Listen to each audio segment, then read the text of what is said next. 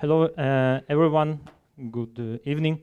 Today we're going to speak about uh, one of the, um, in my opinion, um, fast developing uh, application or uh, technology. It's a smart home.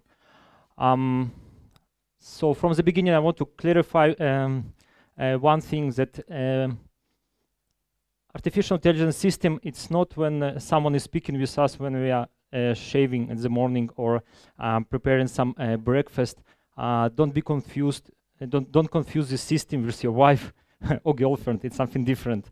So uh, smartphone is was created for only one goal: is to make our life easier, to help us when we're coming back from job and to save our time. So. Um,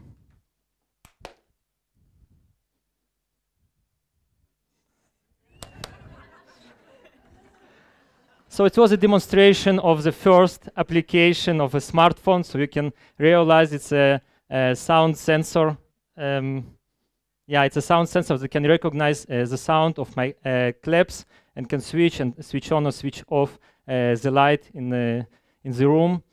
Um, so let's see what the structure of the smart home. So you can see the smart home uh, made from sensors. It's a huge amount of sensors inside like in the sound, uh, water, uh, light, um, temperature, and uh, and so on. It's a lot of sensors, and the, all the sensors they connected to the to computer with a CPU and memory inside, and all these computers have a software that can make some decisions can uh, switch on the water when we uh, outside from the home if uh, there are some disaster inside or can send information inside uh, outside from uh, home to uh, emergency services.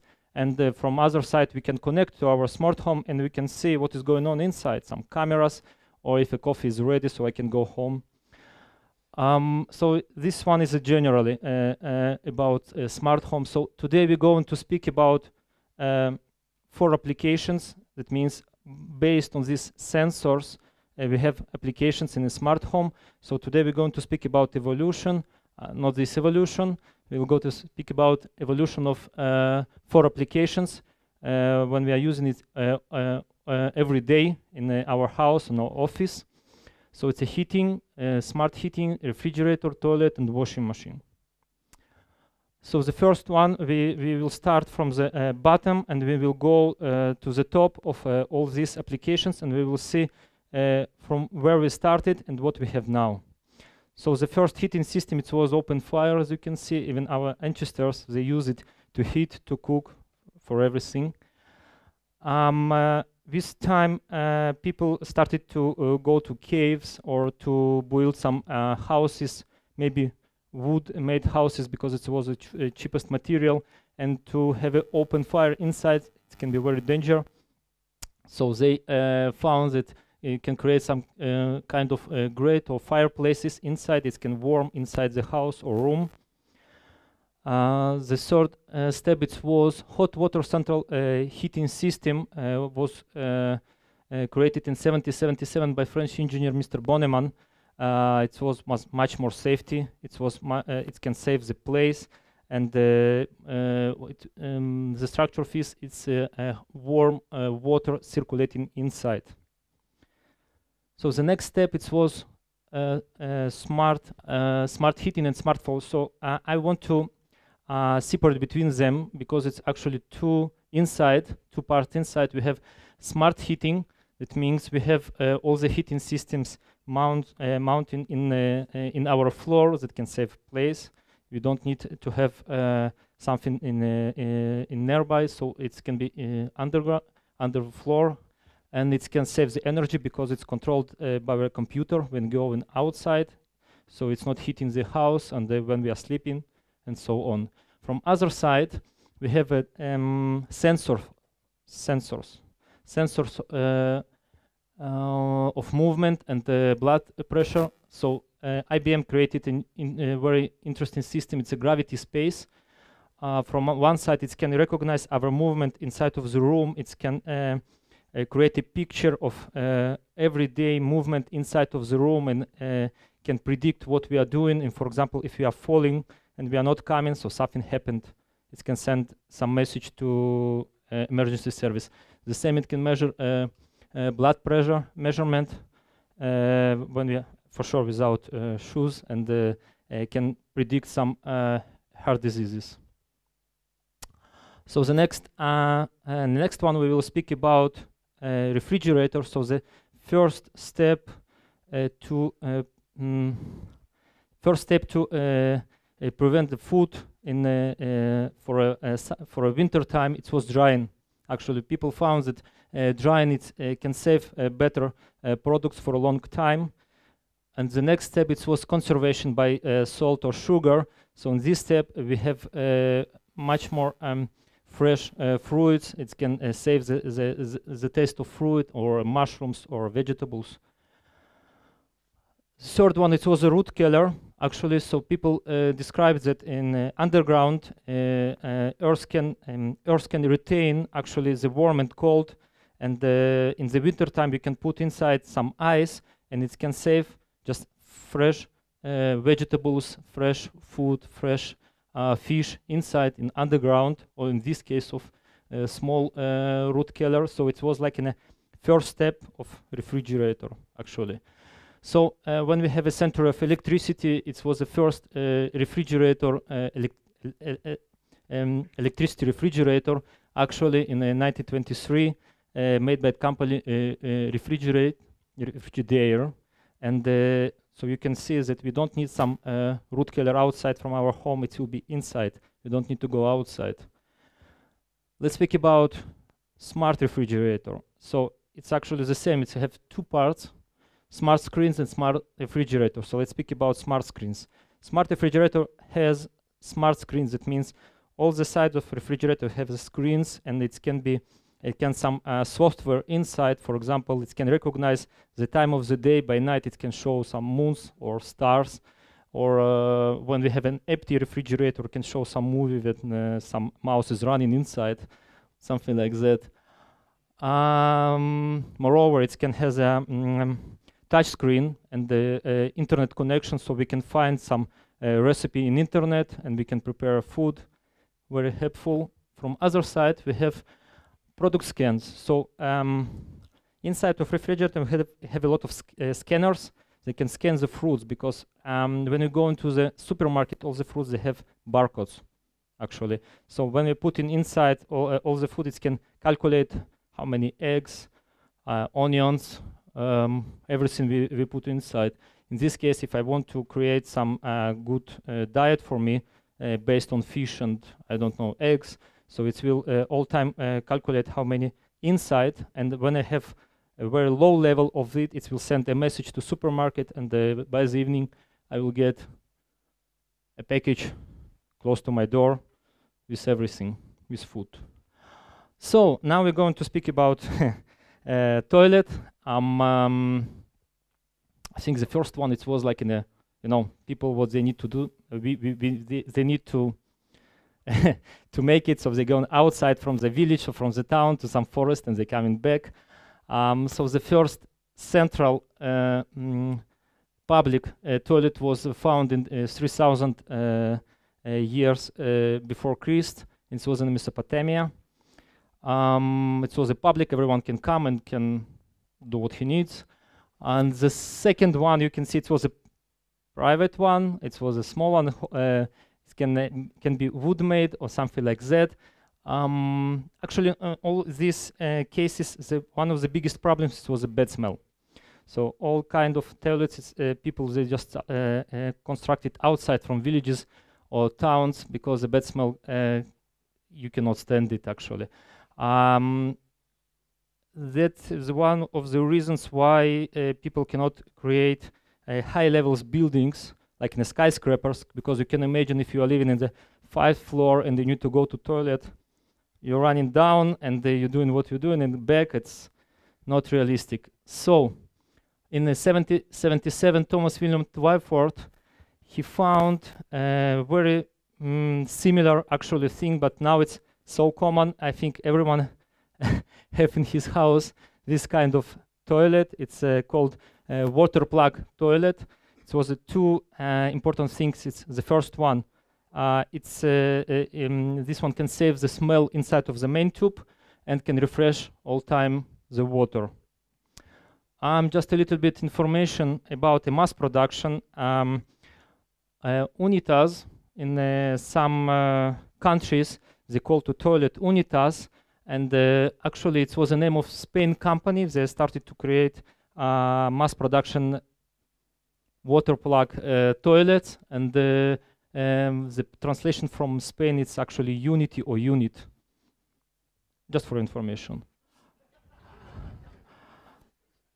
So uh, we have uh, a lot of shapes and types of uh smart toilet, but it's all times the same system. It's a water plug.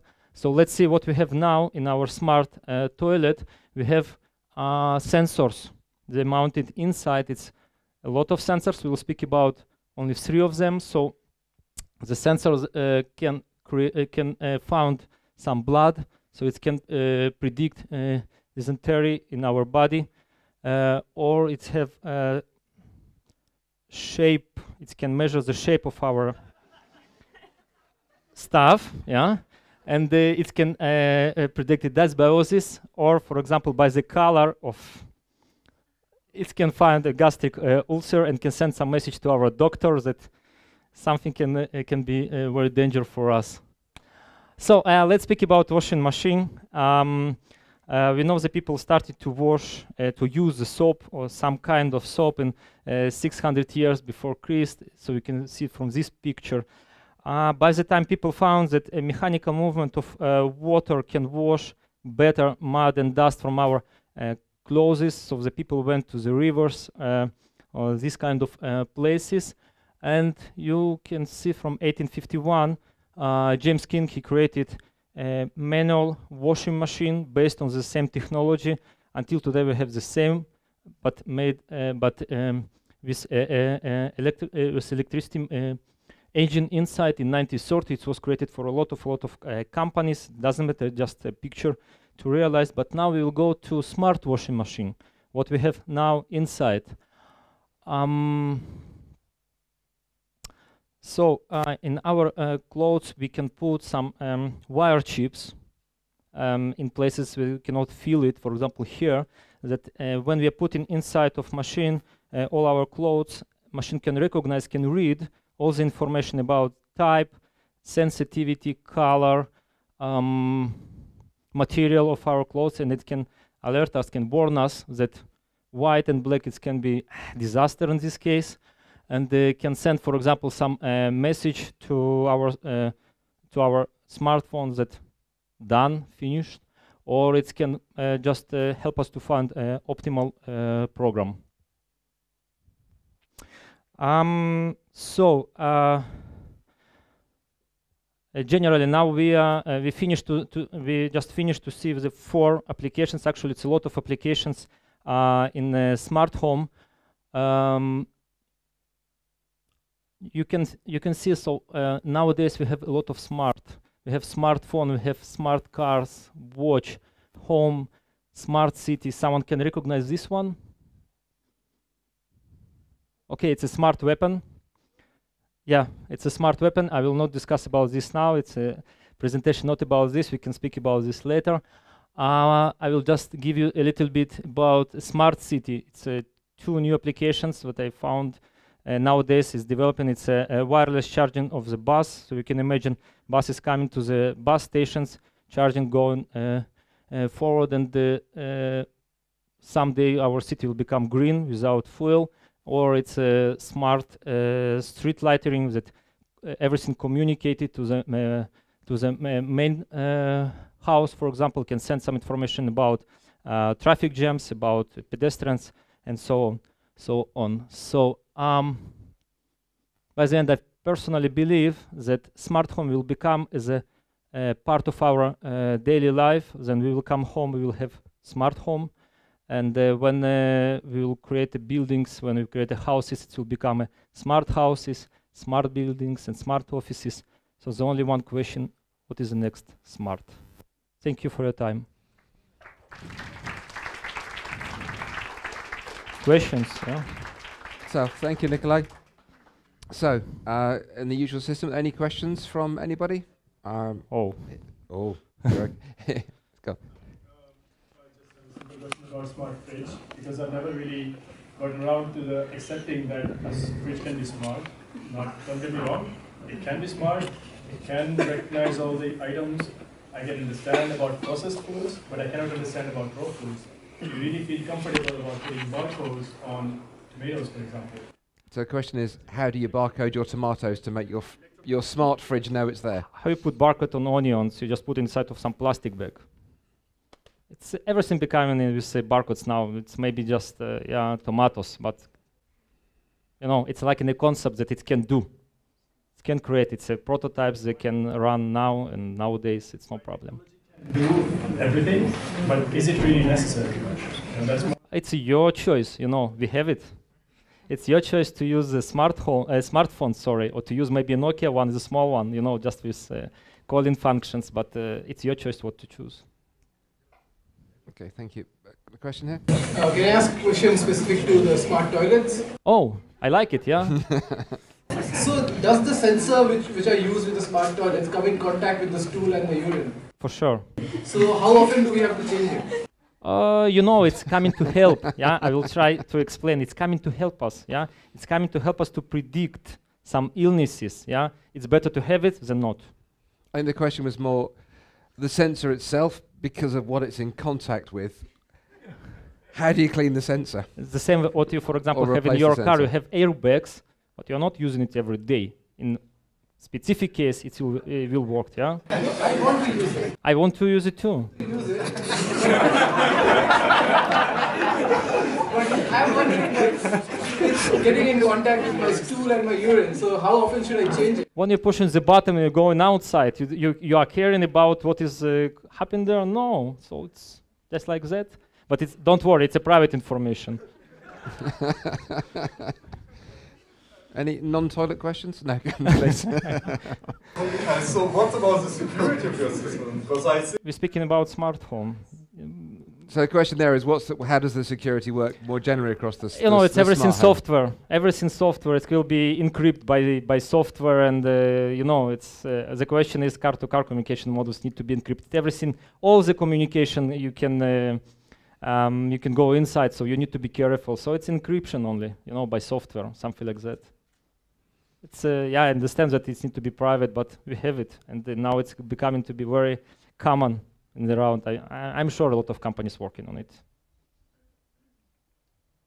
One more question here. question concerning um, that there is that one currency called IOTA, hmm like um, uh, cryptocurrency. Uh, I heard that Bosch, for example, is like investing a lot of mo- money to use this currency later for uh, smart systems, like for example the fridge.